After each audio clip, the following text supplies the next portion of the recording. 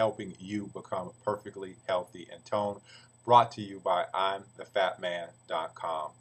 Today's video is another in the series of how to read food labels. This is actually a third video. If you have not watched the first two videos, I would suggest that you do so. On the first video, I discuss natural flavors and what that means. And on the second one, I get in more into natural flavors, specifically talking about MSG or monosodium glutamate. So I encourage you to go back and uh, look at those or view those uh, first two videos. Now today, is something that you want to stick around for because I'm going to be discussing food dyes or what we call food colorings. And these things affect our kids. If you look at a lot of the products that are being geared towards our children, um, you know that a lot of the food dyes are, are being put into them. Now, as an adult, there are some products that food dyes and food colorings are in, and we have no idea that they're in. And mainly, a lot of those are in cosmetics. And these things affect us on a cellular level, and many people don't know that. So, I want to discuss this today and just give you an education on why you really need to watch out for food colorings or food dyes within your products that you consume. All right? So, let's without further ado, let's jump right into it. So, what I did was I'm always in my grocery store. I'm going in there. I don't particularly buy a lot of stuff out of the grocery store. I tend to source a lot of my things and, and, and consume. I'm a big consumer of real food.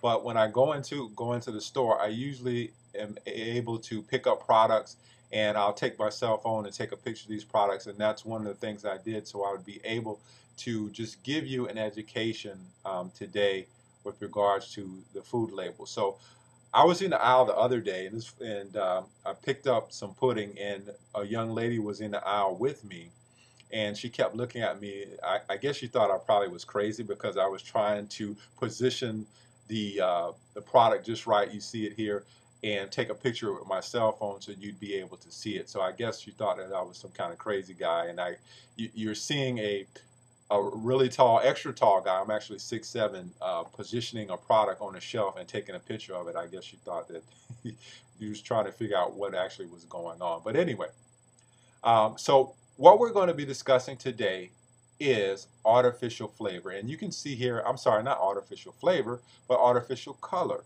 And you can see here with yellow 5 and yellow 6. And many people don't pay any attention to these things when they see them on the backs of foods and you really really need to start doing that. And like I said before I took this particular picture off of uh, pudding and it's a pudding snack. And a lot of these products we're giving our kids and you'll will see the uh, uh, you'll see the danger behind doing that as you go further along in the video. Now let me pull this up here now, most of us are fools for food dyes, and that's not saying anything bad.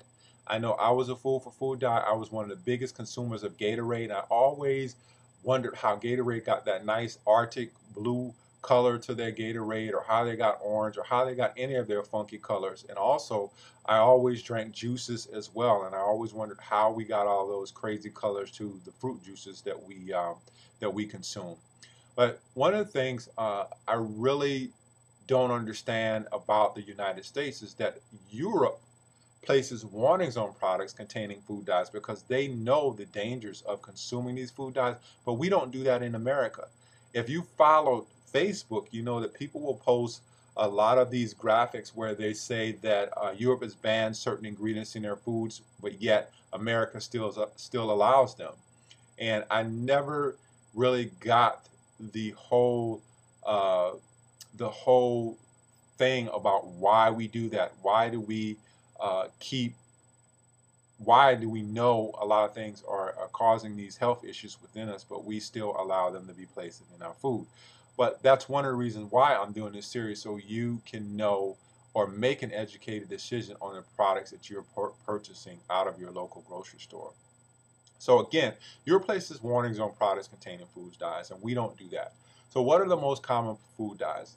If you look here, this is a long list. I'm not going to go um, within this, this whole list or go down the whole list, but you can see that that you have products running the gamut, uh, or colorings running the gamut from blue, red to green, and then you have yellow. And if you look here, you have yellow number 5 and yellow number 6. And if we go back to the picture, we can see that those are within this particular brand of pudding here. Now, what are food dyes linked to? And one of the reasons why I wanted to discuss this on this video is that a lot of the food dyes are being placed in, in food that's being geared towards children. If you go back to the picture and if you remember the picture that I just pulled up, it was pulled off a snack pack of pudding.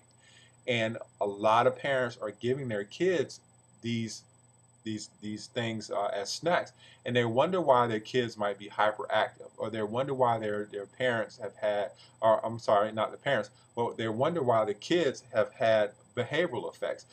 I don't know about you, but I've seen on many occasions where parents are in the store and their kid just falls out and starts crying and say, "Oh, my child is sleepy." But maybe it might, might not be that your child is sleepy. It might be that you gave them some kind of snack earlier in the day and it's just now affecting them. I've noticed that we never really attribute anything to food. It's always some other condition. So a lot of things, especially with our kids, can be contributed back to, to food if kids are just crying for no reason or if they are just mad or moody for no reason at all. And these things also affect adults as well. Another thing is just cancer, thyroid dysfunction. A lot of people are having problems with their thyroid and they have no idea why.